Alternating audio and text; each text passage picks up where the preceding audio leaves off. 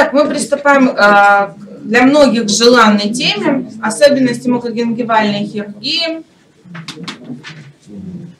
Доктора, пожалуйста. Особенности мукогенгивальной хирургии в области имплантов и лечения атрофических процессов в области имплантатов.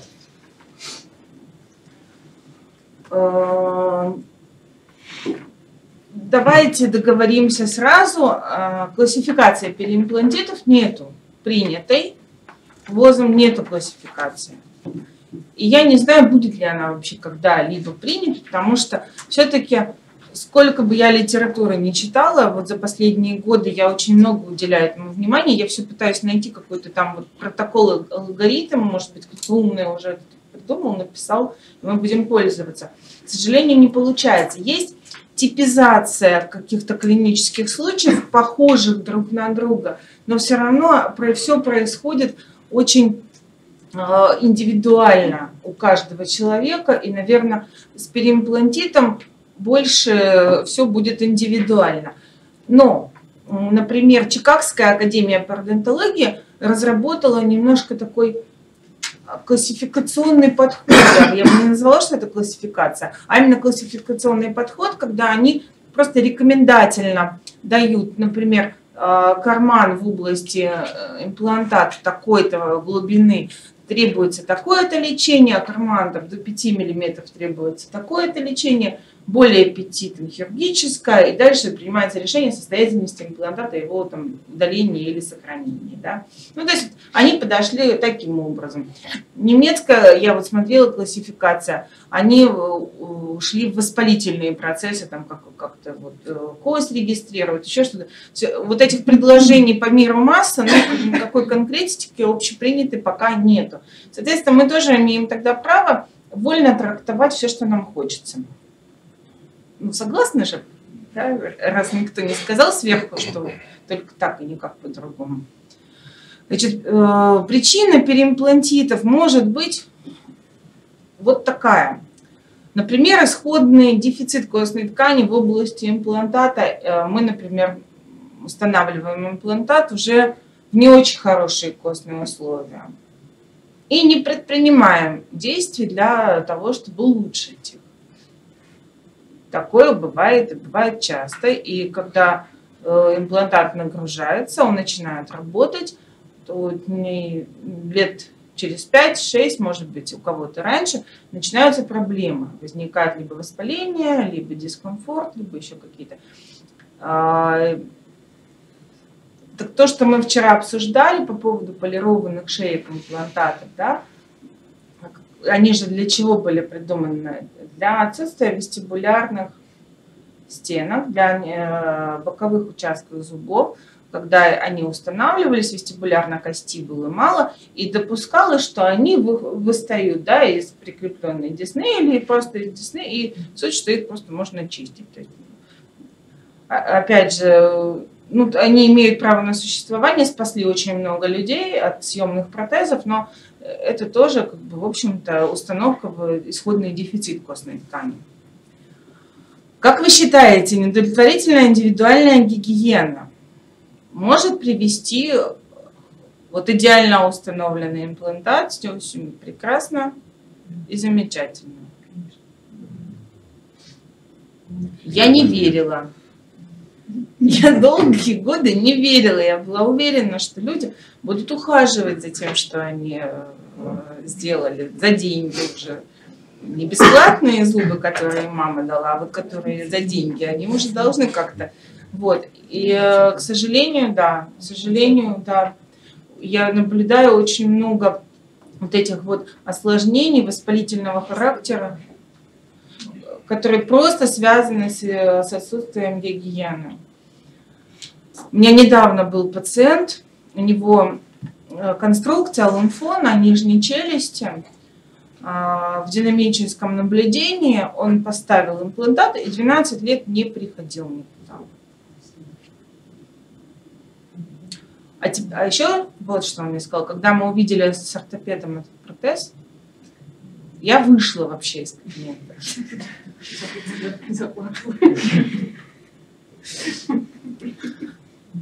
А он мне, знаете, что сказал? Он говорит, я думал, что эти зубы не надо чистить щеткой. Я только промыл, в общем, 12 лет. Это состоятельный, взрослый, социализированный мужчина, умный, не, не таежный тупик, это не деревня. Он думал, что эти зубы не надо чистить щеткой. Я серьезно говорю, я вышла, я, у меня был такой шок, что я не могла ничего сказать.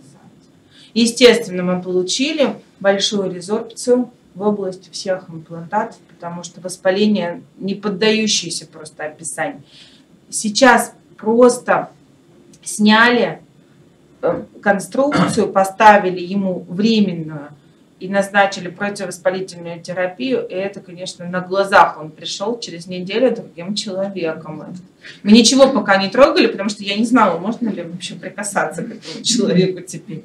Но, но костная резорбция уже есть, и с этим придется что-то изобретать, потому что дальше у него кости просто нет, там тело челюсти, и, и все, и, и ничего больше нельзя поставить уже. То есть вот он сам за 12 лет не используя щетку, довел себя до состояния э, выпадающих имплантатов. Пока еще они как-то там фиксируются. Но... И, и в его случае у него не будет никакого прогноза. У него съемный протез, который категорически отрицает, он сказал, что он, конечно, это носить не будет. Что он там везде э, работает, ездит, большой начальник. Как это он съемный протез будет? Вот так. Поэтому я, я э, вот буквально ситуация прошлой недели, я, для меня я, была шоковая совершенно история.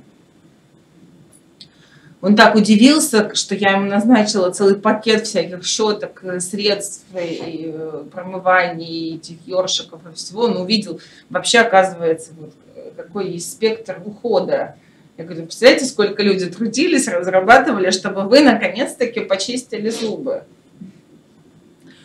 А, отсутствие прикрепленной десны.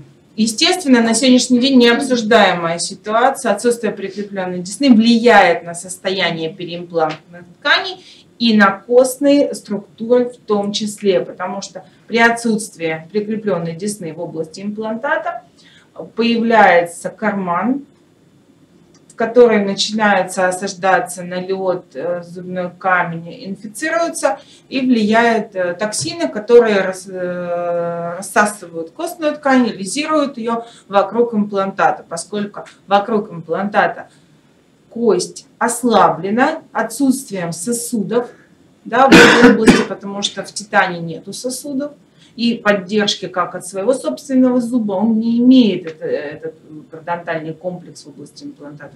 Соответственно, все, что для зуба будет, ну ничего, так еще потерпим, для импланта сразу плохо. Поэтому, конечно, надо уделять, стараться особенно вот этот фокусировать пациентов на уходе, на индивидуальном, когда вы их отпускаете с большими, с маленькими, с любыми работами, чтобы не было потом обидно и больно. Прикрепленная десна, мы сегодня будем прям вообще целый день про нее разговаривать, потому что это самая наша прям цель сегодняшнего э, занятия теоретического. Ну и вчера нам, в общем-то, тоже мы про нее все время говорили. А сегодня мы будем ее пытаться создавать из, из воздуха, из всего чего, из подручных мягких тканей, из чего угодно, но в области имплантата мы должны отпускать пациента только в том случае, если она там есть. А, не бросайте в меня камни, кто занимается ортопедией, неадекватная ортопедическая нагрузка. Может ли являться причиной переимплантита?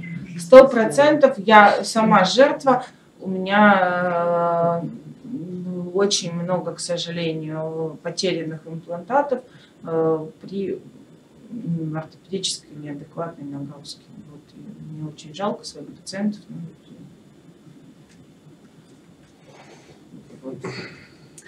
Наличие слизистой мышечных тяжей, вся та же песня в прикрепленную десну. То есть все та же, там, где тянет и нет прикрепленной десны, будет карман.